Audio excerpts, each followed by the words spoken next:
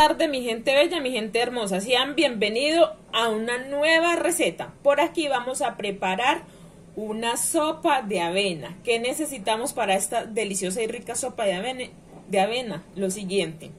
Una libra de carne que ya la tengo lavada y la tengo ya cortada en trocitos. Entonces vamos a llevar primero a cocinar la carne con un poquito de sal y orégano por aquí ya tenemos la avena, esa avena en hojuelas.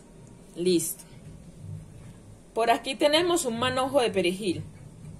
Por aquí tenemos cebolla de huevo morada y cebolla de rama. Listo. Por aquí tenemos una taza de guisantes. Por aquí tenemos una zanahoria pequeña y tenemos habichuelas. Por aquí tenemos papa nevada y tenemos cuatro papas criollas, o sea, papa amarilla. Por aquí tenemos apio y por aquí tenemos unos dientecitos de ajo. Entonces vamos a llevar a cocinar primero nuestra carne.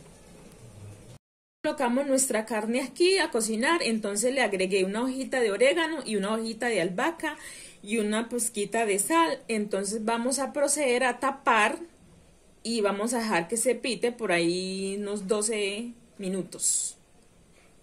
Bueno, mi gente bella, por aquí les enseño rápidamente que ya picamos todas nuestras verduras. Ya tenemos aquí la papa, ya tenemos aquí la zanahoria, la habichuela, los guisantes ya los tenemos lavados, la cebolla, el ajo, el perejil, el apio y la avena la vamos a dejar de última. ¿Por qué? La avena tenemos que tostarla. La tostamos en una sartén bien caliente, pero la sartén tiene que estar totalmente sin nada de aceite. O sea, una sartén caliente sola sin nada. Y sin más preámbulos, vamos a ir a agregar todo esto a nuestra carne que ya está lista y ya está blandita y ya está en su punto. Vamos a agregar todo esto poco a poco. Bueno, por aquí vamos a agregar nuestra zanahoria y nuestra habichuela. Por aquí agregamos nuestras dos papas, la amarilla y la papa normal. Y por aquí vamos a agregar nuestra taza de guisantes. Aquí vamos a agregar nuestra cebolla con los ajos. Por aquí vamos a agregar nuestro perejil.